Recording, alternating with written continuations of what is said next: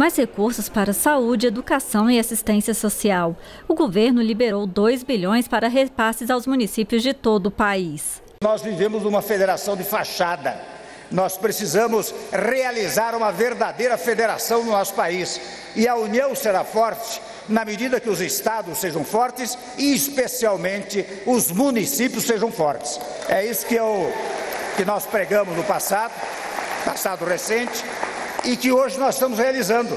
Dos 2 bilhões liberados, 1 bilhão deve ir para a área da saúde, 600 milhões para a educação e 400 milhões para o desenvolvimento social dos municípios. Os municípios beneficiados recebem recursos do Fundo de Participação dos Municípios, que é a principal fonte de renda de muitas cidades, especialmente as pequenas. É o caso de Poranga, cidade com 12 mil habitantes no interior do Ceará. O município tem passado por sérias dificuldades financeiras, né, uma arrecadação muito baixa, praticamente o município sobrevive só do FPM, dos repasses federais, dos convênios e tem sido anos muito difíceis e com esse repasse do FM vai ajudar a equilibrar as contas do município.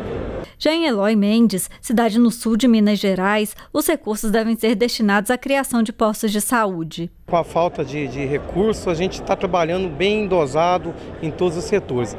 É, a gente tem que analisar de que forma que pode ser investido esse recurso, se é custeio, se é obras. Tem bairro na nossa cidade que a gente ainda precisa construir um PSF, é, investimento em obra no nosso hospital, enfim, a gente vai fazer uma análise desse recurso para ver de que forma que a gente pode investir esse recurso. Mas é muito bem-vindo.